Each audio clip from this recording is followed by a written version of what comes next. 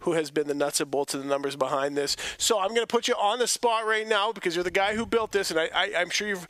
I, I, actually, I'm not going to do. it. I was going to ask you who you think's going to win this oh, series. Do you think? Do you think that uh, Battleford's going to come back and and you know they're up three to one in the series? Can they win this series? Yes, I think they will win the series. Eventually, the big guys are going to score. We might even see that this period. I mean, La Ronge was up what like three to one last night, were, and yeah. then Yorkton finally got through and came back. I wouldn't be surprised to see Battleford's come back. And this is I don't want to say it's totally random, but if you ran the simulation through and through all the games, if you ran it through again, you wouldn't get the exact same outcome, would you? No, I've tested this many times, and we had a different championship winner. I've tested it five times, and we had a different champion five times. There we go. So we really don't know what's going to happen. Thanks so much for this, Alex Watson, Moneyball, the guy that's put all these numbers uh, together to put this uh, Canalta Cup Simulation 2020 together for us. We'll come back with Darren Dupont and the third period action. The Nipawin Hawks leading this one four.